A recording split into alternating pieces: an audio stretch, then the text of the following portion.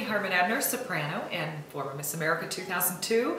I am so very, very excited to be performing at the Ross Ragland Theater on May 18th at 7.30 p.m.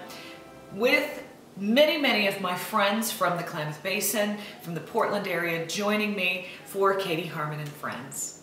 This concert will be filled with gems from musical theater all the way through film and television to opera. Things from South Pacific and My Fair Lady to Sound of Music, all the way through Gershwin, Rhapsody in Blue, Someone to Watch Over Me, some of his favorites, and Porgy and Bess as well, all the way to Puccini, Dvorak, Mozart, some gems that you will know and recognize and love.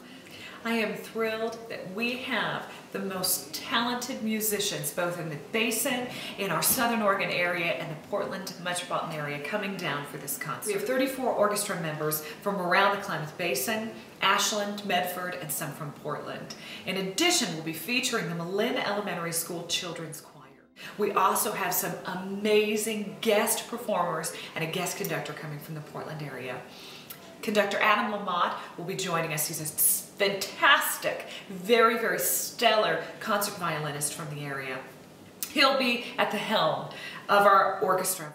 We have concert pianist Janet Coleman joining us for a performance of Rhapsody in Blue that you do not want to miss.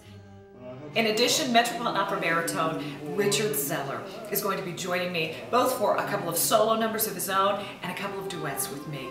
I am so very, very excited that they're going to be here, that they're going to be in Klamath Falls, that they're going to be at the Ross Ragland Theater, that we're all going to be together for this very, very special evening. I hope you'll join us and be a part of this concert, of this opportunity to really celebrate the best of the Basin and the best in music.